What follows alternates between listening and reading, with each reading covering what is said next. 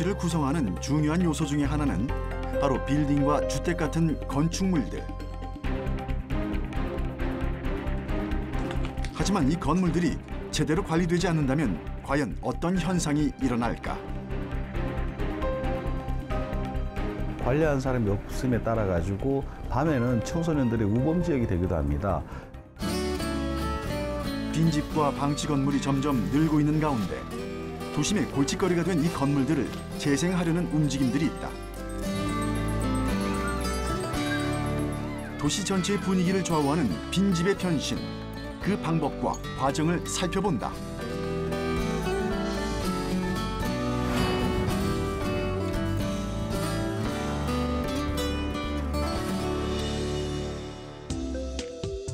도시를 구성하는 주요 요소 중에 하나는 단연 건축물이다. 잘 설계된 건물과 멋진 스카이라인은 도시 이미지를 결정하는 데도 큰 영향을 준다.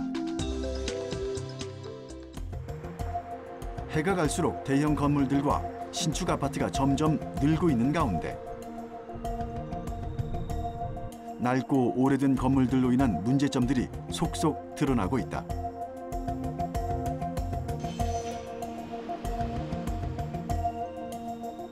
특히 도심 곳곳에 불어닥친 재개발 열풍은 많은 부작용을 낳았는데 우후죽순 생겨난 빈집과 짓다가 공사가 중단된 대형 건물들이 바로 그것이다.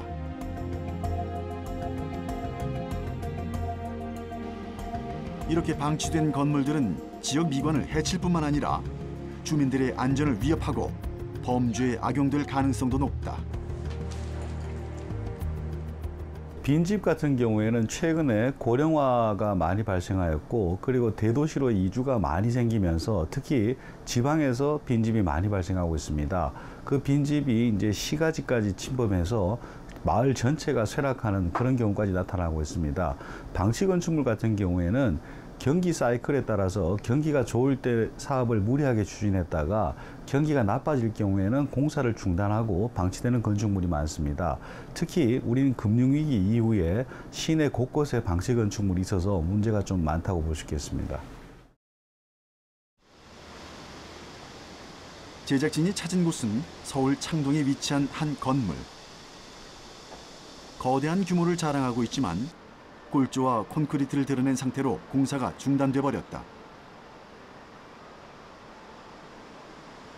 원래는 창동역 민자 역사로 활용됐어야 할 건물. 그러나 지금은 도심 속 흉물이 됐다. 벌써 방치된 지 8년째라는데 대체 이곳에서 무슨 일이 일어난 걸까? 예, 이 건물은 이제 2004년도에 착공을 들어가서요. 예, 멈춘 거는 2010년 11월부터 공사가 멈췄습니다. 그 멈추게 된 이유가 시행사가 이제 시공사한테 공사 대금 160억을 지급을 못했기 때문에 예, 시공사가 이제 공사를 중단하게 된 거고요. 현재는 이제 공, 공정이 27%에서 28% 사이고요. 예, 지금까지 들어간 공사비는 한 160억 정도 되고 만약에 이게 10층까지 올라갔을 때는 공사비는 한 300억 정도 이렇게 추정되고 있습니다. 어, 분양 이걸로 완전 완전히 분양했을 때는 외형이 한 7천 700억에서 800억 정도 이렇게 가능 이렇게 보시면 되겠습니다. 이곳이 개발되던 2003년에는 여러 언론에서 좋은 입지 조건과 풍부한 유동 인구를 토대로 새로운 상권을 형성하는 랜드마크가 될 것으로 전망했다. 국철과 4호선 지하철 환승역인 창동역은 하루 유동인구가 12만 명에 달합니다. 지금은 평범한 환승역에 불과하지만 오는 2008년이면 대규모 복합상가로 탈바꿈하게 됩니다. 이달 초부터 분양에 들어간 창동역 복합상가에는 9개의 극장을 비롯해 1,800개에 달하는 각종 상가가 들어서게 됩니다. 아파트 밀집 지역인 창동역 주변에는 지금까지 이렇다 할 상권이 형성돼 있지 않은 상태여서 이 상가가 완공될 경우 창동역은 이 지역 쇼핑과 문화생활의 중심지로 부상할 전망입니다. 지하 2층, 지상 10층으로 지어질 예정이던 민자 역사는 현재 5층 높이의 골조만 덩그러니 남아있다. 시행사 비리와 시공사 교체, 또 각종 소송에 발목이 잡혀 도심 속 흉물로 변해버린 것이다. 개발 기대로 들썩였던 창동역 인근 부동산 시장은 공사 중단 이후 침체된 상태다. 문화단지로 조성되어 많은 사람들이 북적이는 랜드마크를 예상했지만 현실은 흉물로 남은 건물과 도심의 불청객 비둘기들만 자리를 차지하고 있다. 이런 대형 건물이 멈춰져 있다 보니까 일단 흉물로 자리를 잡- 잡고 있어서 일단 그 상권에 악영향을 미치고 있습니다. 원래 이 상권이 완성이 되면 어, 주변에 이제 랜드마크 건물로서 이 상권을 견인할 수 있는 그런 대형 건물로서 자리를 자, 자리매김을 할 수 있었을 텐데 첫 번째 그런 게 이제 악영향을 미치 바라볼 수 있겠고요. 두 번째는 집값에 영향을 미치게 되었습니다. 저일면적 84제곱미터 같은 경우에 2011년도에 그 매매 가격이 4억 8천만 원이었는데 현재는 4억 7천만 원으로 오히려 천만 원이 하락할 정도로 그 부- 인근 부동산 시장에 미치는 영향이 크다고 할 수 볼 수 있겠습니다. 현재 창동 지하철 역사를 오고 가는 승객들의 불편함은 이루 말할 것도 없다.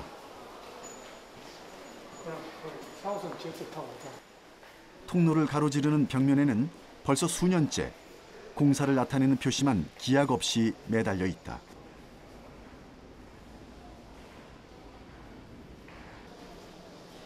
지하철 승강장 위를 뒤덮은 붉은색 철골과 콘크리트는 군데군데 녹이 슬어 불안불안하다. 과연 이 방치 건물의 문제를 해결할 수 있는 방법은 없는 것일까? 각종 비리와 시공사 교체, 소송 등이 복잡하게 얽혀 있는 것도 문제다. 장기 미준공 건축물 현황 자료에 따르면 서울에서 5년 이상 미준공 상태인 건물은 총 978곳에 달했다. 착공한 지 5년 미만이지만 6개월 이상 공사가 중단된 건물도 서울시 전체 121곳이나 된다. 연면적으로는 100만 제곱미터가 넘는 수준인데 여의도 63빌딩 약 6개 동에 해당하는 건물이 오랜 기간 미준공 상태로 방치된 셈이다. 안전의 문제 같은 경우는 뭐 위에 공사하던 중에 공사를 잘 마, 마무리하지 않았기 때문에 뭐 물건이 떨어진다라든가 이런 위험도 있고 나중에는 이제 한 몇 년 이상 방치될 경우에는 구조에도 문제가 생기기 시작합니다. 구조에 문제가 생긴다면은 다시 공사를 착공하기 힘들 정도로 뭐 나빠지기 때문에 비용적으로도 크게 발생한다고 볼 수 있습니다. 제작진은 서울 도심 한복판에 방치돼 있다는 또 다른 건물을 찾아가 봤다. 지하철 2호선 신림역 사거리에 위치한 건물. 그러나 듬성듬성 채워진 외벽과 앙상한 골조만을 남긴 채 공사가 중단돼 있다. 신림역 6번 출구를 나오자마자 보이는 이 건물은 백화점이 될 예정이었다.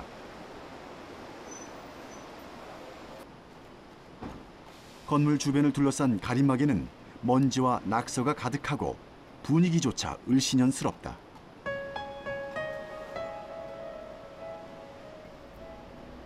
(2006년) 지하 7층 지상 12층 규모로 공사에 착공했지만 시공사가 2008년 법정 관리를 신청하면서 이 건물에 문제가 생겼다.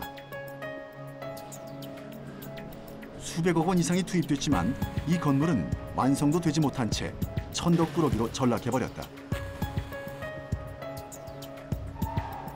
매일 수천 명이 지나가는 길목임에도 불구하고 외벽조차 갖추지 못한 건물은 언제라도 철근 골조가 떨어질 듯 위태롭다. 그저 지나가는 새들의 임시 휴식처가 되어줄 뿐인데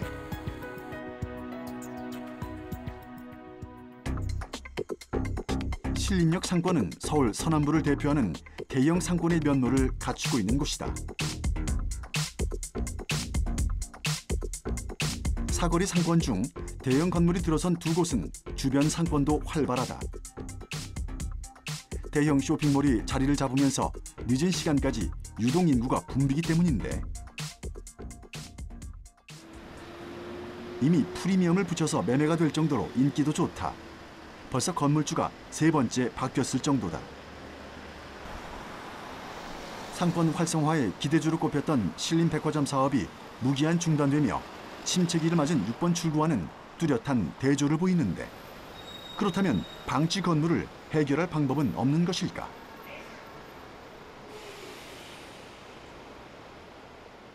그 사업을 추진한 사람이 있고 또 거기에 돈을 빌려준 사람이 있고 그 이런 관계 그리고 또 이제 공사를 진행하다가 공사비를 못 받은 사람들도 있고 이해관계가 굉장히 복잡합니다. 그래서 경기가 좋다면은 큰 문제가 없지만 이런 이해관계가 복잡할 때는 향후 사- 새로운 사업자가 그 사업을 맡아서 하기에도 쉽지 않은 상황입니다. 그래서 뭐 우리나라 같은 경우는 계속 늘어나는 경- 경향이 있고 최근에 이제 방치 건축물 문제가 심각해져 가지고 서울시라든가 경기도에서 일부 대책을 마련했지만은 그 대책이라는 것들도 정부가 재정을 투입해서 어떻게 정리하는 방향이기 때문에 가시적 효과를 보기에는 재정 자체가 너무 작아서 좀 미약한 상태입니다. 방치 건물은 통행에 방해가 되거나 도시 미관을 해치는 등 그 자체로도 많은 문제를 안고 있다. 하지만 더 큰 문제는 이로 인해 주변 지역까지 부정적인 파급 효과를 준다는 점이다. 지역 경제를 침체시킬 뿐만 아니라 범죄 장소로 악용될 요지가 다분하다. 1982년 미국 범죄 심리학자들은 깨진 유리창 이론을 발표했다.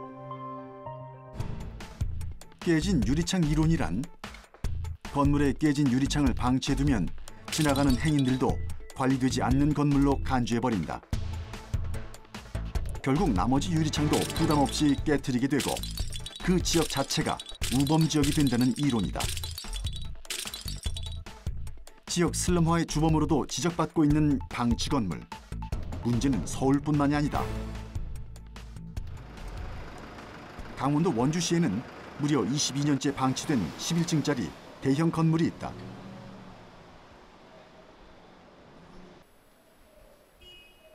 내부로 들어갔더니 공사가 상당히 진행되고 있었음을 알 수 있는데 보관 상태 역시 20년이 흘렀다고는 믿을 수 없을 만큼 양호한 상태. 대체 무슨 사연이 있길래 공사가 중단된 것일까? 최초 사업자가 94년도에 건축 허가를 내서 95년도부터 착공이 시작됐었었는데요. 어, 그때 아마 얼마 안 가서 외환위기로 인해서 어려움이 있었을 걸로 생각이 되고요. 그 이후에도 사업주가 몇 번, 몇 차례 바뀌어서 2008년도에 또 이전 사업자가 인수를 해서 어, 최고급 주상복합 아파트로 그 사업 진행을 했는데요. 또 아시다시피 그때 또 한 번의 금융위기가 찾아오면서 분양에도 어려움을 겪고 어, 공사비 미지급 등으로 인해서 사업이 중단된 걸로 알고 있습니다. 그리고 이 지역에 맞는 사업 컨셉하고는 조금 맞지 않는 어, 그런 컨셉이기도 했고요. 건물 계단 위로 올라가 봤더니 원래 구조물의 형태가 눈에 더 잘 들어온다. 이게 아파트 구조체임을 확인할 수 있는 여러 곳을 확인할 수가 있는데요. 오른쪽을 보시면은 여기가 이제 주방의 위치가 되었었을 것 같고요. 왼쪽을 보시면 이제 거실의 위치가 되는 거고, 그 방이 이렇게 하나, 둘, 셋. 이쪽이 이제 안방의 위치를 하고 있었을 것 같습니다. 그 전에 위치를 보면. 이렇게 그 전에 건물을 이 지게 된 거는 아파트 형태로 건물을 짓게 된 거였었죠. 건물이 예정대로 완공됐다면 거실로 쓰여졌을 공간은 마감되지 않은 시멘트 벽면으로 황량하게 남아 있다. 공간 곳곳에는 쓰임을 다하지 못한 먼지가 쌓인 건축 폐기물들이 놓여져 있다.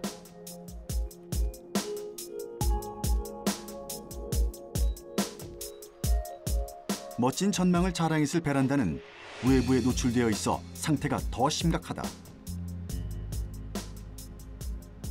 각종 쓰레기는 물론 오랜 세월 방치됐음을 증명하듯 푸른 이끼들이 무성하게 자라 있다.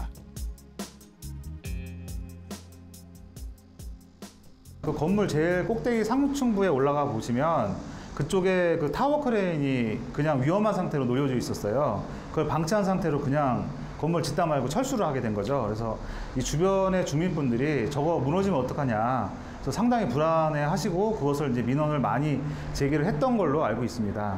또 하나는 그대로 아무도 지키지 않다 보니까 이- 여기 밤에 불이 꺼지면 완전히 이게 우범지대가 될 수 있는 위험성이 있었거든요. 그래서 이제 저희가 이것을 매입을 하고 나서부터는 그런 위험성을 처- 없애기 위해서 타워 크레인부터 없앴고 그 다음에 두 번째로는 그각그 동서남북으로 CCTV를 설치를 해서 사람이 지키고 있음으로 해서 그런 우범지대로부터 좀 벗어날 수 있는 그런 환경을 좀 만들었습니다. 그 과거보다는 지금이 훨씬 더 이제 환경적으로는 더 나아진 거죠.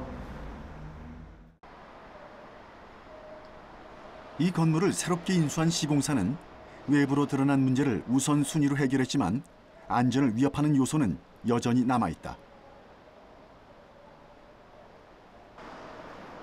특히 내부 곳곳에 정리되지 않은 위험 물질과 마감이 되지 않은 구조물들은 혹시라도 사람이 들어오게 될 경우 사고의 위험성을 높이고 있다.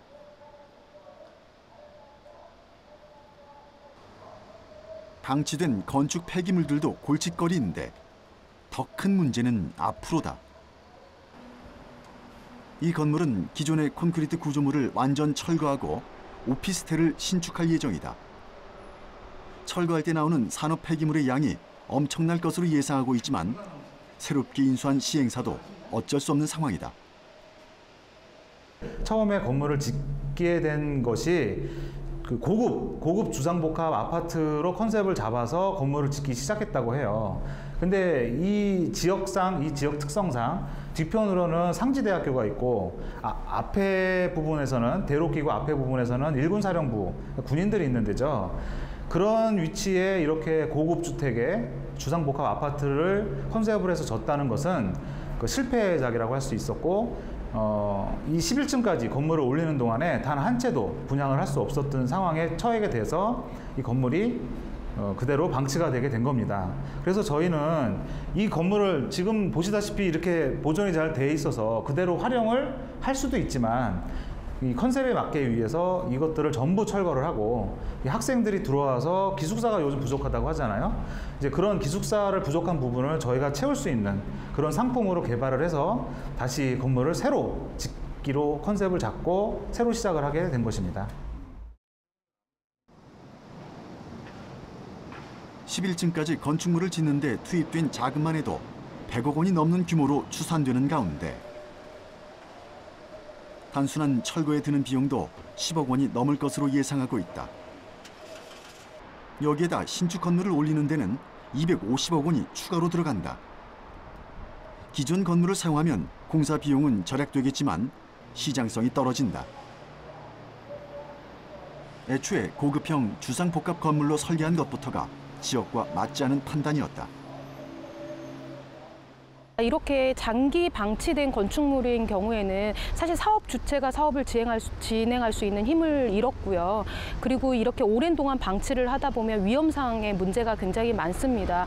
어, 뭐 태풍이 온다든가 뭐 이렇게 됐을 때 뭐 낙하된다든가 뭐 타워 크레인이 뭐 무너진다든가 뭐 이런 여러 가지 사유로 인해서 안전상의 문제가 있지만 사유 재산이기 때문에 뭐 정부나 과- 지자체에서 그거를 처리할 수 있는 방법 자체가 없거든요. 그래서 장기 방치 건축물의 경우에는 어, 뭔가 관계 법령을 좀 개선해서라도 어, 정부가 지자체가 적극 개입을 해서 어, 방치 건축물을 철거하거나 또는 새로운 사업 주체 또는 자금 지원 이런 방법을 통해서 어, 그 흉물로 남지 않고 안전상에도 문제가 없도록 어, 이런 제도적인 보완이 필요하지 않을까 생각이 됩니다. 방치 건물만큼이나 문제가 되고 있는 것이 바로 빈집들이다. 고령화에 따른 전반적인 인구 감소와 재개발로 인한 구도심 쇠퇴가 그 원인으로 주목받고 있는 가운데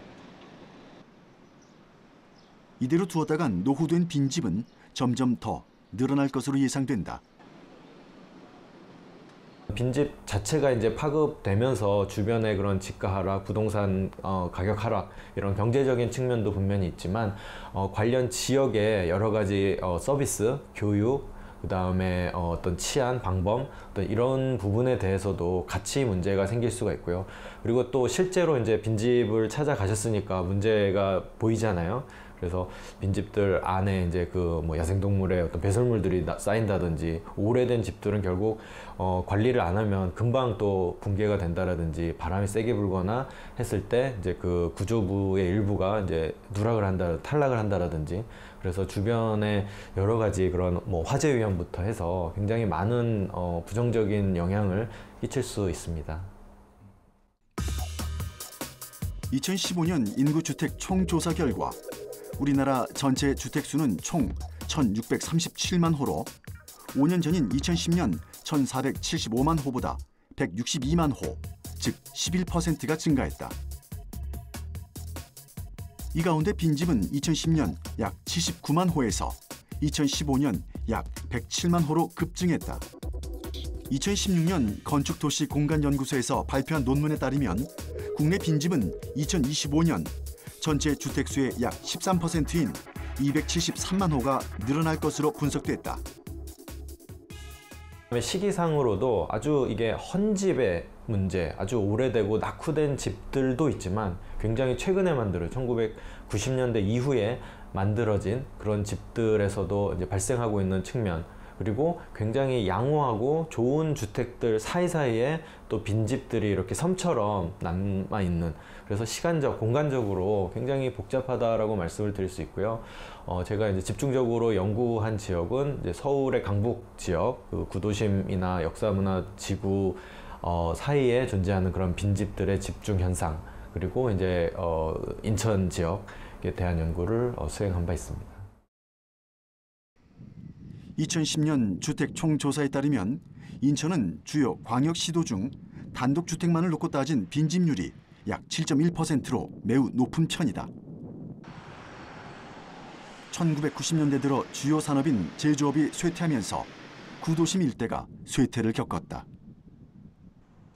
사람들이 신도시로 이주하면서 구도심의 인구는 물론 가구 수가 대폭 줄어들자 서비스 산업의 이탈도 가속화되고 있는 것으로 나타났다.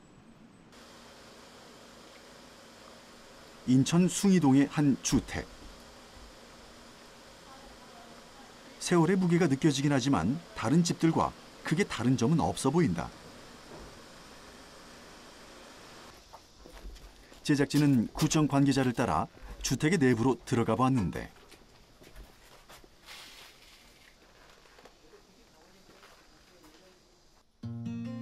오래되고 낡긴 했지만 살림살이가 고스란히 집안에 남아있다. 그러나 물건 위에 수북이 쌓인 먼지들이 몇 년간 사람의 손길이 닿지 않았음을 증명하고 있었다. 조금만 손을 본다면 누군가 당장 들어와 살아도 부족함이 없을 공간이다. 벽면엔 수년 전에 멈춰진 시간을 고스란히 증명하듯 오래된 달력이 매달려 있다.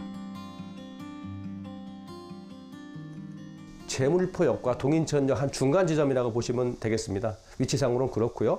한 3년 정도 빈집의 상태로 있었습니다. 그리고 최근에 새가 잘 나가지 않기 때문에 아, 주인께서 또 상태도 양호하고 그래서 우리 구가 하고 있는 빈집 재활용 사업에 동참하는 뜻에서 한번 이것을 활용하는 게 어떻겠냐 이런 제안이 있었습니다. 그래서 추진하게 됐고요.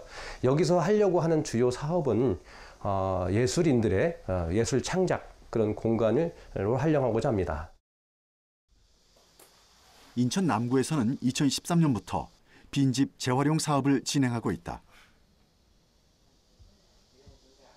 구에서는 한 곳당 약 2천만 원 정도의 지원을 통해 도배, 장판 교체, 창문 수리 등을 진행한다. 빈집을 사람이 다시 쓸 수 있는 공간으로 재탄생시키는 작업이다. 또 건물 소유주에게는 재산세 감면 혜택을 주고 있다. 건물주는 처치 곤란한 빈집을 활용할 수 있어서 좋고 입주자들은 저렴한 비용으로 공간을 활용할 수 있다.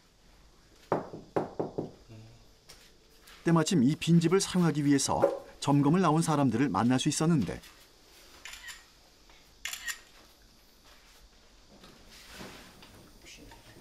이곳은 앞으로 예술인들의 작업 공간으로 변신할 예정이라고 한다. 천년 방치된 집 치고는 너무 깨끗하고 뭐 보존 상태라든가 그런 것들이 너무 잘 돼 있어서 예, 뭐 크게 이렇게 막 구조를 막 크게 뭐 이렇게 변경하거나 그럴 것까지는 않을 것 같고요. 그냥 뭔가 진짜 요새 젊은 취향들에 조금 더 맞게 변형만 조금만 더 건들면 괜찮지 않을까 싶습니다. 네. 그러니까 저희 취지가 뭐 주변 분들과 대학생들과 어, 여러 예술 활동하시는 분들과 같이 모여서 어, 아이디어 회의도 하고 그다음에 이 공간을 가지고 좀 더 주변 분들한테 좀 어떤 예술 활동을 보여줄 수 있을까에 대해서도 고민을 많이 할 건데요. 어, 일단 그런 부분적으로 좀 저희가 회의를 하고 앞으로 진행해야 될 것 같습니다. 인천 남구는 현재까지 관할 구역 내 빈집 23개소를 보수하고 개조하여 필요한 사람들에게 공급해왔다. 이처럼 빈집은 그냥 두면 흉물이지만 잘만 활용하면 도시의 고질적 문제인 주거난 해소에도 도움이 될 수 있다. 또 일부 주택가에서는 빈집을 아파트 관리소와 같은 역할을 수행하는 마을 주택 관리소로 활용하기도 한다는데 인천 도화동의 이 주택은 약 2년 정도 빈집으로 방치됐던 건물이다. 1층은 어르신들의 일자리 창출 공간으로 거듭났다. 마스크팩을 포장하며 용돈을 벌고 있는 어르신들. 여러 명이 함께 쓰는 공간이다 보니 편의 시설도 잘 돼 있다. 뜨거운 여름을 나기에는 에어컨이 설치된 이곳이 훨씬 낫다는 분들도 많다. 네, 여기 원래 빈집이었던 거 알고 계세요? 네, 원래 이거 빈집이었는데 남구청에서 이거를 마련해 주시갖고 우리 동네 어르신들한테 이제 좋은 자리를 마련해 주셔서 이걸 하고 있습니다. 그럼 요거 하시면은 뭐 소일거리는 좀 되시겠어요? 네, 네. 소일거리도 되고 좋죠. 시간도 잘 가고 응. 집에 있는 것보다도 훨씬 낫죠. 그 전엔 여기가 쓰레기통이었대요. 예, 고양이만 잡도 갖고. 근데 지금은 깨끗하고 이렇게 시설하고 좋잖아요. 그래서 아주 재밌어요. 힘들지 않아요. 재밌어요. 집에서 들어놓으면 허리 아픈데 여기 와서 일하면은 그냥 같이 웃고 즐기고 재밌죠 뭐. 집에 혼자 있는 것보다. 2층 사무실은 다양한 민원 활동을 처리하는 장소다. 주민들의 택배를 받아주기도 하고 남구청에서 지원해주는 공구를 관리하고 대여해준다. 빈집 하나를 제대로 활용하자 주민들의 일상이 훨씬 더 풍요로워졌다. 빈집 및 소규모 정비 특별법이 생기기 때문에 남구에서는 어, 지금부터 두 달 전에 벌써 아, 빈집 TF 팀을 어, 구성을 해서 현재 운영을 하고 있습니다. 매주마다 앞으로 우리 관내에 있는 빈집을 어떻게 활용할 것인지에 대한 아, 어떤 추진 계획이라든지 이런 것을 어, 계속 모니터링을 하고 있기 때문에 앞으로는 이게 아까도 말씀드렸지만 어떤 그 구에서 의지를 갖고 뭐 한 집, 두 집 이렇게 하는 것이 아니라 그 도시 전체에 대한 빈집에 대한 체계적인 그런 관심과 조사와 또 그를 어, 활용하는 방안까지 어, 지금부터 해서 내년 2월부터는 본격적인 궤도를 올려놓는 것이 저희 구청의 지금 목표입니다. 이렇듯 빈집을 정비하고 활용하고자 하는 노력이 활발하게 추진 중이다. 서울시 역시 빈집 살리기 프로젝트를 진행 중인데 6개월 이상 방치된 빈집을 저소득 가구에게 시세 80% 수준으로 최소 6년간 임대하는 형식이다. 집주인들은 방치된 빈집을 고치고 임대료까지 받을 수 있어 프로젝트에 큰 관심을 보이고 있다. 그러다 보니 집을 고치고 수리하는 작업에 관심을 보이는 사람들도 늘고 있는데 인천 용현동의 한 주민센터 건물 내부에서 젊은 사람들이 미장 공사를 하고 있다.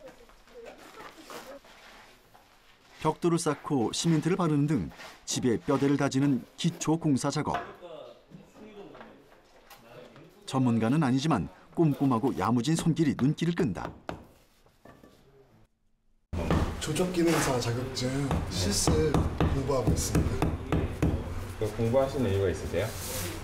아무래도 저희가 하는 게 빈집 고치는 일이다 보니까 자격증이 필요하다고 생각해서 지금 열심히 배우고 있습니다.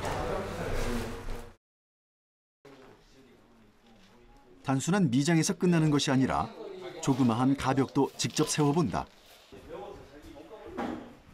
집을 수리하는 데 필요한 기본적인 기술들을 습득하는 것이 이 수업의 목표다. 비록 집을 살 순 없지만 수리하는 능력 정도는 갖추고 싶은 청년들이 주축이 됐다.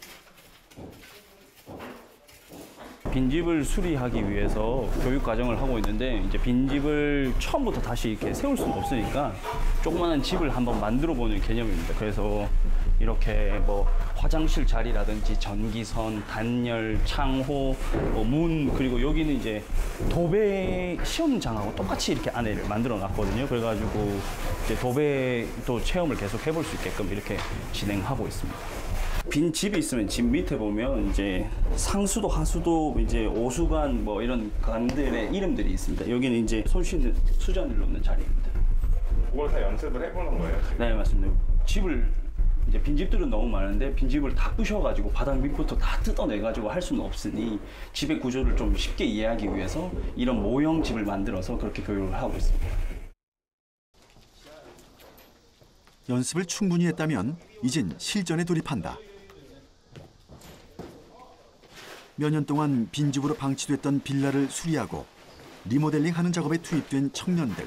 얘는 얘는 살려야 되고 얘는 버려야 되고.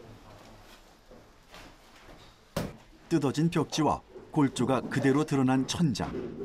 그리고 해진 장판들을 정리하는 일이 만만치가 않다.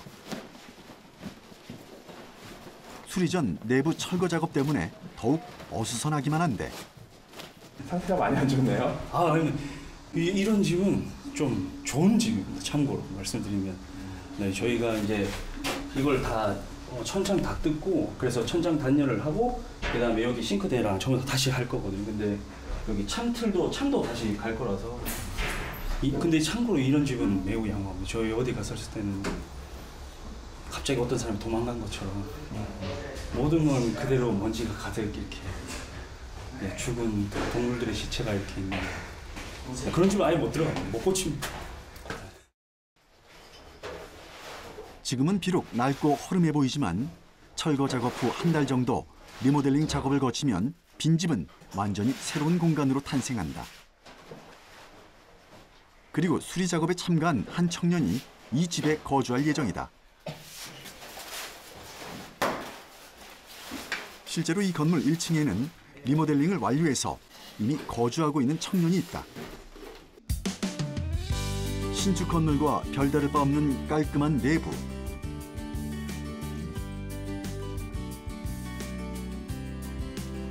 깔끔한 주방 가구와 도배가 잘 돼 있는 거실. 그리고 환한 화장실 타일들. 따로 설명을 듣기 전엔 누구도 빈집이었다고는 상상할 수 없을 정도다. 완전 그냥 폐가였습니다. 그러니까 지금 뜯고 있는 집 상태 정도로 생각하시면 됩니다. 그러니까 어, 곰팡이가 다 펴져 있고요. 그 다음에 화장실 완전 부셔져 있고, 그리고 화장실 물이 안 내려 있어가지고 하수가 완전 막혀 있는 상태였고, 그러니까 우물 같은 냄새도 올라오고요. 그리고 일단 등 같은 건 아예 없었고, 어, 하여간 좀 벌레들도 많이 있고 그런 상태였습니다.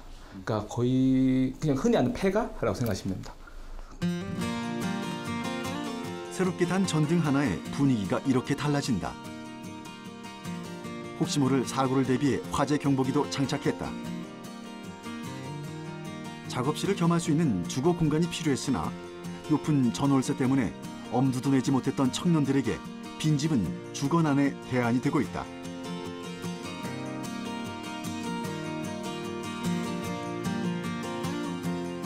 월세를 아끼는 혜택을 입다 보니 빈집이 있던 마을 일에도 더 적극적으로 나서게 됐다고 하는데 어, 아무래도 지역 주민들과 가족같이 지낼 수 있다는 거. 제가 생각했을 때는 어, 그냥 원룸 살고 청년들 그냥 있는 대학교 근처 같은 경우에는 누가 사는지 모르잖아요 옆에. 근데 여기 같은 경우는 어르신들도 저희 많이 챙겨주시고 저희도 거의 보답하기 위해서 지금 마을 활동도 많이 참여하고 있고요. 그래서 어떤 어머 지역 어머님들이나 저 어르신들과 저희들이 좀 약간 가족 같다는 느낌이 들어서 되게 좋은 것 같습니다. 방치된 건물의 활용은 단지 주거 공간에만 한정되는 것이 아니다. 경기도 화성시에는 조금 독특한 미술관이 있다. 일단 외형부터가 눈길을 끄는데 건물 중 일부에 천장이 아예 없는 모습을 볼 수 있다. 기존의 미술관하고는 사뭇 달라 보이는 풍경이다. 재미있는 것은 천장 일부에서 매 시간 정각마다 약 20분간 물이 떨어지는 이벤트가 열리는데 특히 아이들에게 이 이벤트는 큰 인기를 누리고 있다. 미술관에서 비 오는 날의 낭만을 만끽할 수 있기 때문이다.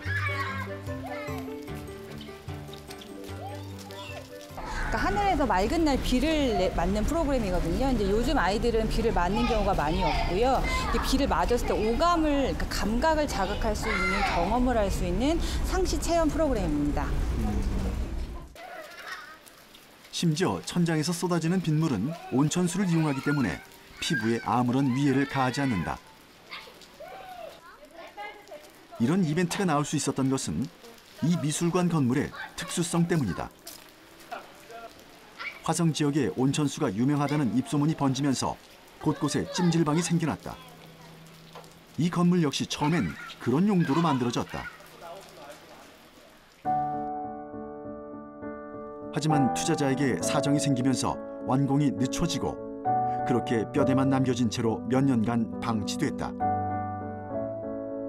그러다 건축가의 아이디어 하나가 죽어가는 건물을 살리고 동네 분위기를 바꿔놓았다.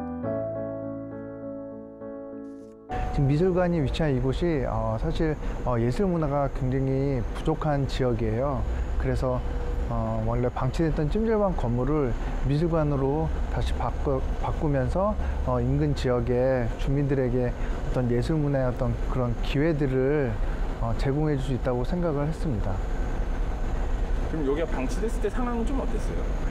아, 사실 거의 이제 어, 흉물처럼 이제 방치가 돼 있었고요. 오랫동안 이제 펜스들이 이제 처진 상태에서 안에 굉장히 쓰레기라든지 잡초들이 무성했고 사실 사람들한테는 굉장히 어떤 범죄의 어떤 원인을 제공할 수 있는 그런 곳으로 방치가 계속 되어 있었죠. 방치된 찜질방에서 미술관으로의 파격적인 변신은 지역 사람들에게도 신선하게 다가왔다. 폐허나 다름없던 곳이 예술을 즐길 수 있는 문화 공간으로 바뀌었고 매 계절 새로운 전시들을 선보이고 있다. 더 흥미로운 것은 전시를 하고 있는 내부 공간에서 건물의 원형이었던 찜질방의 형태를 찾아볼 수 있다는 점이다.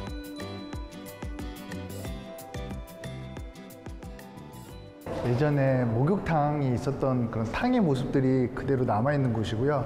저희가 이런 탕의 모습들을 그대로 어, 예술 작품이 설치될 수 있는 그런 다양한 어떤 전시 공간으로 그렇게 기획하였습니다. 어, 있는 그대로를 다시 재활용하는 것도 하나의 큰 새로움이라고 생각을 했습니다. 그래서 어, 기존에 있는 구조라든지 어, 노출에 있는 그대로의 어떤 재료라는 그런 질감들 그대로 전달할 수 있도록 그렇게 기획하였습니다.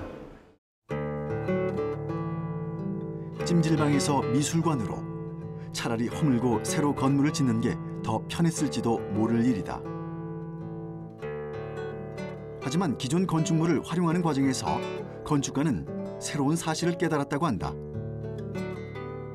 불리하게 느껴졌던 탕의 전형적인 구조들이 오히려 전시 작품이 설치될 수 있는 다양한 영역들로 활용될 수 있다는 점이다.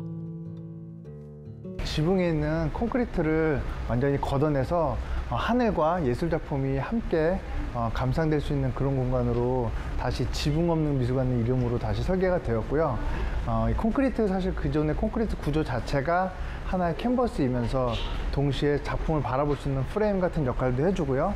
또한 그 자체로서 하나의 그 동선이 사람들이 전시적 작품을 감상할 수 있는 그런 동선으로 어떤 역할을 할 수 있는 곳으로 보시면 되고요. 어, 바닥에 있는 어, 어, 이 재료 역시 원래 중정의 불가마 벽돌로 활용됐던 그 예정이었던 그 벽돌을 다시 재활용해서 바닥을 마감하였습니다.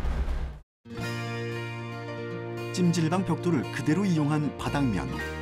재활용이 아니라 제2의 창작물이라고 해도 무방해 보인다.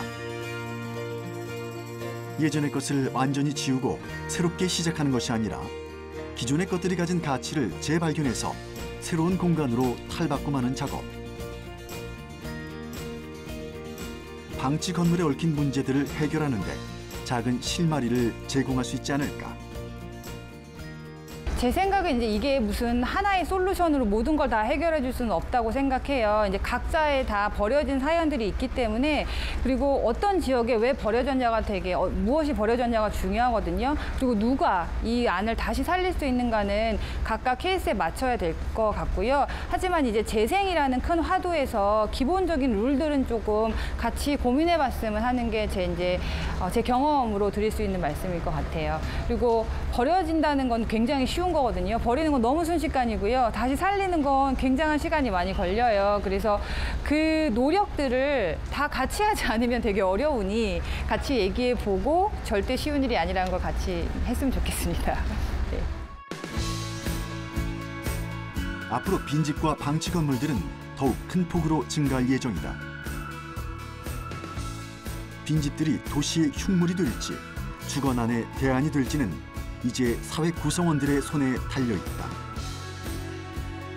눈앞의 이익을 추구하는 것보다 보다 장기적인 관점에서의 도시 계획이 필요할 때가 아닐까.